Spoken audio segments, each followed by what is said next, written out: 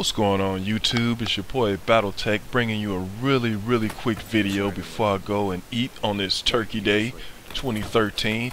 Yesterday Call of Duty Ghosts for PC received an update and with this update it brought over the new NVIDIA PhysX Apex Fur Simulation and what it does is it makes Riley's fur look you know kind of realistic, or I should say more realistic than what it's been looking like. And this is the first of many games NVIDIA plans on updating with this Apex um, simulation. Uh, the next game we should see it in is going to be The Witcher 3.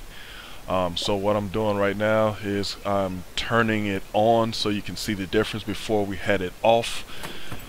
And here we are with the first simulation turned on the high. I'm running on a GTX 780 Ti in case you're wondering. Uh, but yeah, you know, it looks a little better. Doesn't do much for the game, doesn't change the gameplay one bit. Um, but it looks better.